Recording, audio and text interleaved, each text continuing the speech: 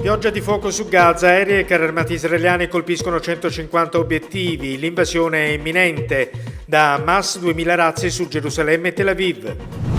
Matteo Salvini assolto a Catania dall'accusa di sequestro di persona nella vicenda della nave Gregoretti.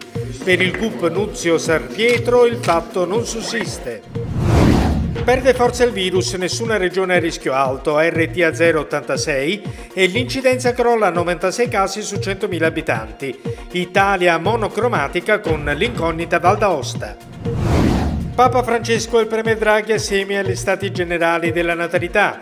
Senza figli non c'è futuro ed il pontefice apprezza l'assegno unico per i figli dal 2022. Oggi click day per incentivi agli investimenti a favore delle imprese di autotrasporto, 61 milioni per acquistare autoveicoli a trazione alternativa.